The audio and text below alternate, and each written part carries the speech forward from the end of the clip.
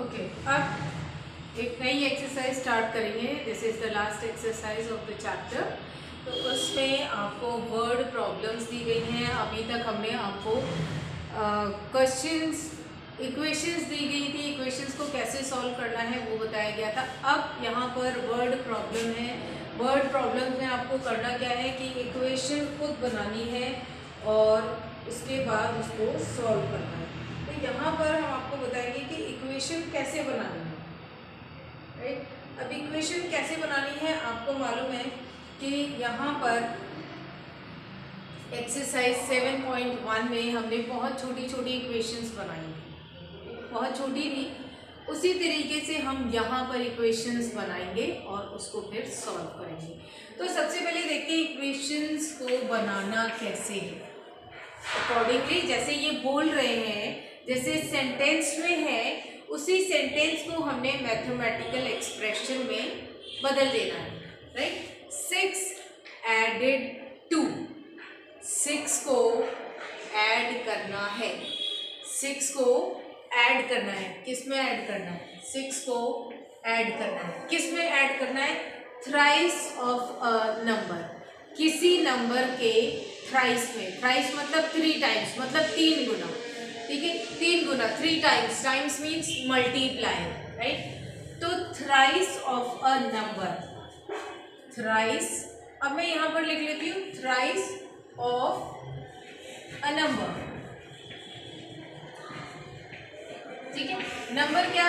Suppose x thrice of a number means three x मतलब सबसे पहले आपको क्या पता होना चाहिए, वो नंबर पता होना चाहिए, क्योंकि वो नंबर अननोन है तो हम यहाँ लिखेंगे let the required number required number मतलब जो हमें चाहिए let the required number be x जो हमें चाहिए सपोज़ वो नंबर क्या है एक्स अब इन्होंने बोला है thrice of a number thrice ठीक है?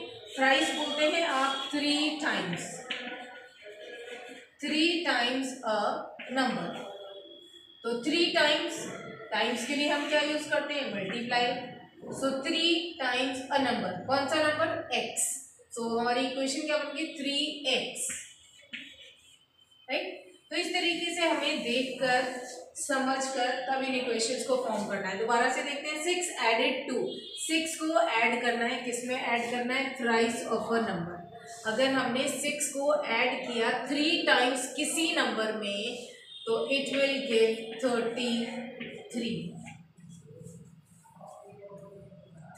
अगर आप सिक्स को ऐड करेंगे किसी नंबर के थ्राइस में तो सबसे पहले तो आपको थ्राइस ऑफ़ अ नंबर पता होना चाहिए।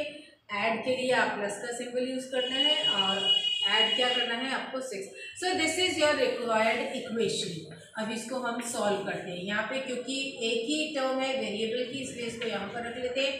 कांस्टेंट की साइड चेंज कर देते हैं. ये है थर्टी थ्री प्लस सिक्स हमें आने चाहिए. प्लस सिक्स का साइड चेंज होगी क्या हो जाएगा? माइनस सिक्स कैसे अब आपको साइड चेंज करनी है? क्यों करनी है? कैसे होती है? वो मैंने आपको सब एक्सप्लेन कर दिया है.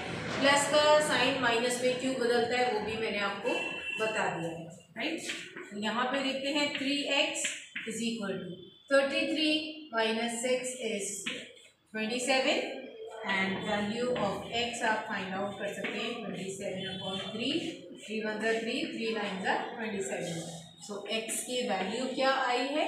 Nine so therefore required number जो नंबर आपको चाहिए, वो क्या है?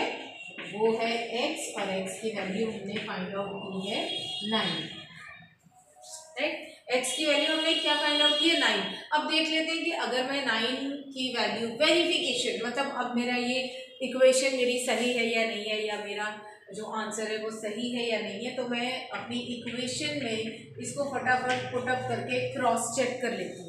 अभी तक जो हम चेक करते आए हैं वेरीफाई करते हुए आए हैं वेरीफाई का मतलब क्या होता है? एक बार चेक कर लीजिए, आपका आंसर सही है या नहीं है तो उसको हम एक और दूसरे नाम से बुलाते हैं क्रॉस चेक आप क्रॉस चेक भी कर सकते हैं। क्रॉस चेकिंग भी आप जो आपकी वैल्यू आती है, उसको आप अपने मेन इक्वेशन में डालिए। L H S equal to R H S हो जाता है तो आपका आंसर सही है। Right three six equal to thirty three three nine ज़ा twenty seven plus six equal to thirty three twenty seven plus six कितना हुआ? Thirty three and R H S already thirty three है। दोनों same हो गए। तो इसका मतलब है कि हमारी जो एक्स की वैल्यू है, वो बिल्कुल सही है। तो इस तरीके से आपने इक्वेशन बनानी है सॉल्व करनी है और उसके बाद अपने लिए कि आपको अगर ज़रा भी ये लग रहा है कि मेरा आंसर सही है या नहीं है तो उसके लिए आप एक बार क्रॉस चेक करके देख सकते हो।